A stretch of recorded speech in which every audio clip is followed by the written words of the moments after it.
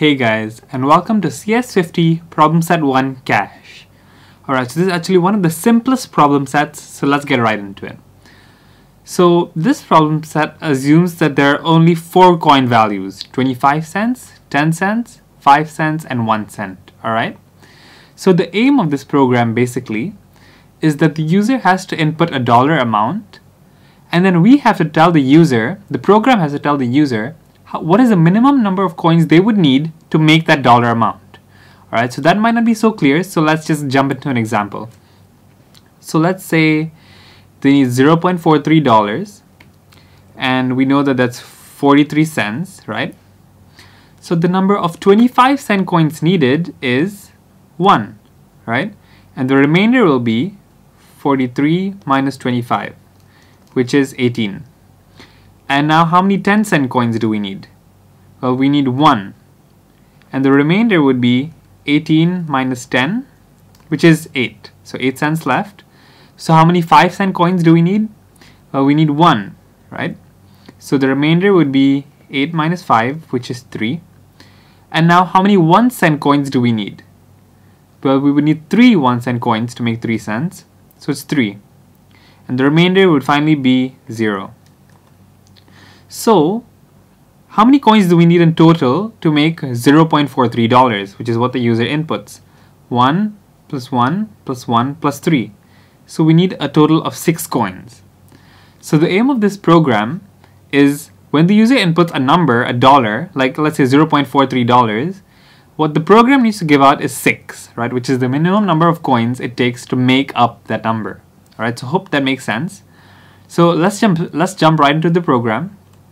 Alright, so first of all, what we do in any program is we include this, the normal libraries, which is standard.io.h, as well as cs50.h. Alright, and then we go ahead and start the program, int main void, and hopefully you're, you know by now that that's the equivalent of when green flag clicked on scratch, right? So the first step in the program is actually to get user input, right? Because we need some input, like we need the dollar amount.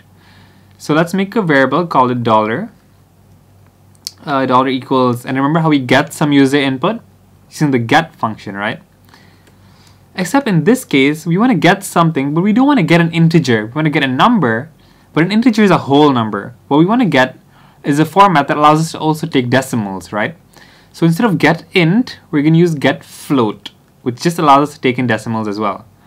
So let's say get float, let's say enter your change. Alright, so we prompt the user for some input. But now similar to Mario, we don't want to just do this once. We want to keep on doing it as long as if they input a negative number, we don't want to accept that, right? Which means we need to keep on doing this, we need to keep on asking them to enter their change while it's a negative number because we only want positive numbers, right? So for that we can use a do while loop, which basically means do the following while.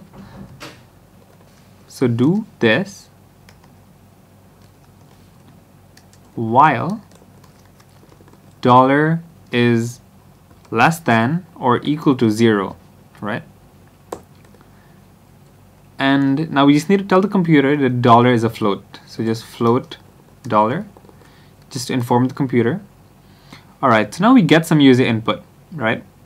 But the user is inputting it in dollars, whereas we want to work in cents, correct? Because our currency is in cents. So, our denomination is in cents, sorry.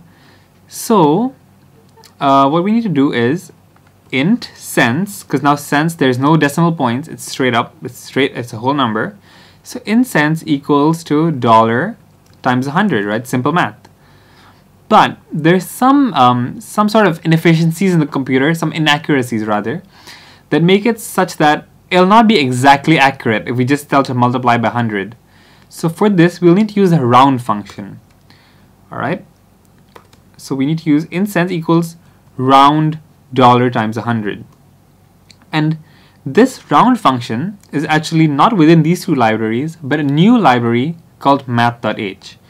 And you wouldn't know this, it's not like general knowledge, it's not common sense. You would need to know this from the walkthrough itself.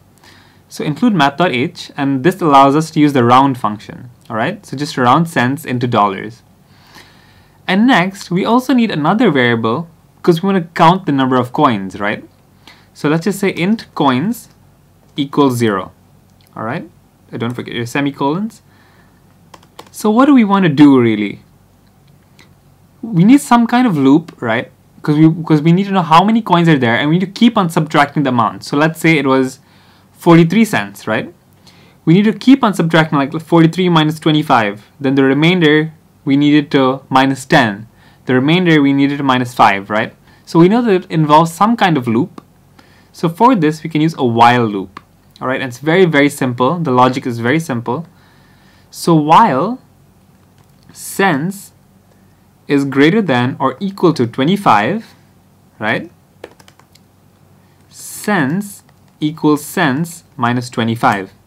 So it's very, very simple. As long as cents is greater than or equal to 25, minus 25 from it. So 43, let's say it's 43, that's greater than 25. So do 43 minus 25 right? That's all this means. Cents equals cents minus 25. We're updating the value of cents. Now, all right, so cents equals cents minus 25, coins plus plus, which basically means add a coin every time this function is done, all right? So, now that we have that, I don't forget a semicolons as well. Now, a simpler way to write this, and it has the exact same functionality, no need to worry, just to, for efficiency's sake, instead of writing cents equals cents minus 25, we can simply write cents minus equal to 25, right? It has the exact same functionality, everything is the same, it's just for beauty of the code, right?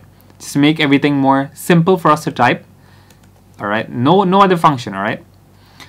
So while cents greater than equal to 25, minus 25 from cents, and add a coin, Alright, remember coin starts at 0. So logically we can kind of think of the next step which is while cents is greater than or equal to 10 cents minus equal to 10 sorry cents minus equal to 10 which basically means um, which basically means every time cents is greater than 10 subtract 10 from the number of cents and add a coin, coins plus plus. So it really is that simple, right? So now let's just continue on for the other uh, denominations as well.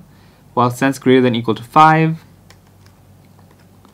cents minus equal to 5. Sorry, don't forget your semicolons, guys. All right.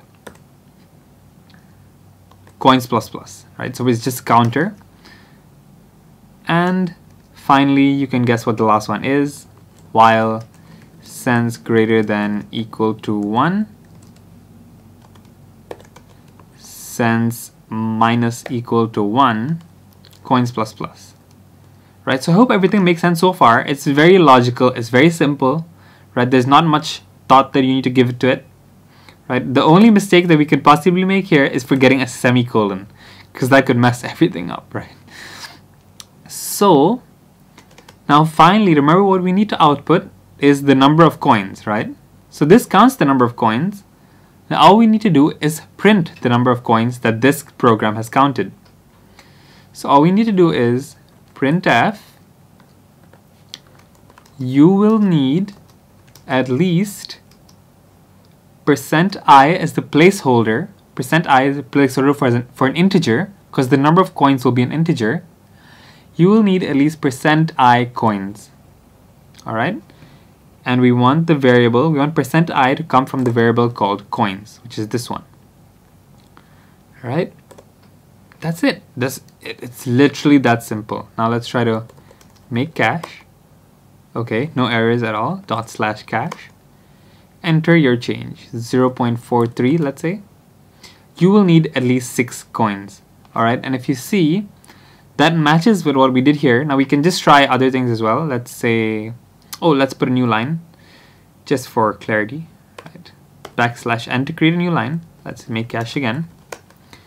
Dot slash cash.